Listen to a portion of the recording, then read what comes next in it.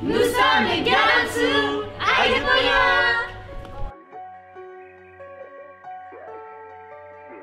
Salut, moi c'est Marie, je suis dans le style Onigan.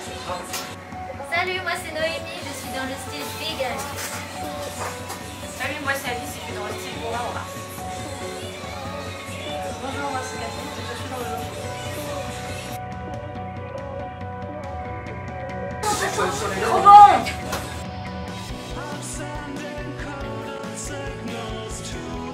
Salut, moi c'est James, dans le style Garuo, le seul garçon du Galsa, Galansu.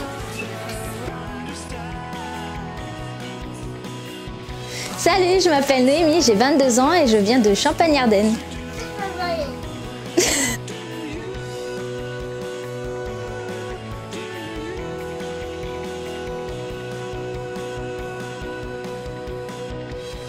Alors le gyaru, c'est un style vestimentaire japonais qui est apparu euh, dans les, environ dans les années 70.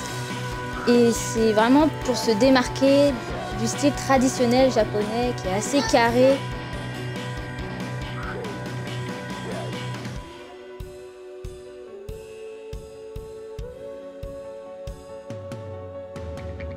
Je m'habille en galop depuis que j'ai, je dirais, 15-16 ans.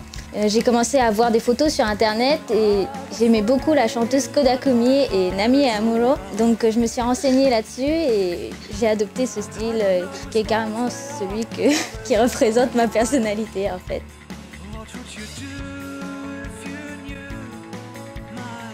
Alors mon style d'aujourd'hui c'est mélange de oni, donc ce qui caractérise le gyaru assez mature, et le shiro. Donc euh, shiro c'est le style avec euh, ce manteau là ou même avec les ongles, etc. Après j'ai pas de style particulier, j'aime bien changer, essayer toutes sortes de styles. Par exemple le begyaru qui s'inspire beaucoup du style hip-hop américain. J'aime aussi euh, bah, oni, ou le Ane Agejo qui est très féminin avec euh, robe, avec des fleurs, etc. Euh, Il y a vraiment beaucoup de styles et j'aime essayer euh, différents. Après, j'utilise le Gyao justement pour ma personnalité que j'ai sur scène. Parce que vu que je suis chanteuse, j'aime bien me démarquer des autres chanteuses et j'utilise justement le style Gyao euh, en tant que chanteuse.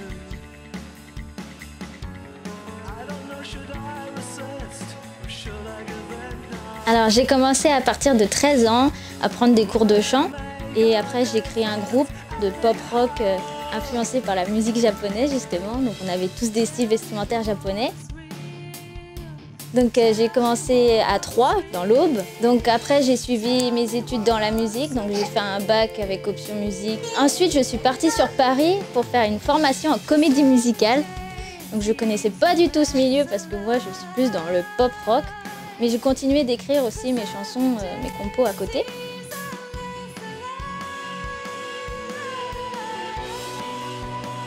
Donc oui, il y a un groupe sur Paris qui m'a appelé. Donc ils sont plutôt dans le rock des années 70.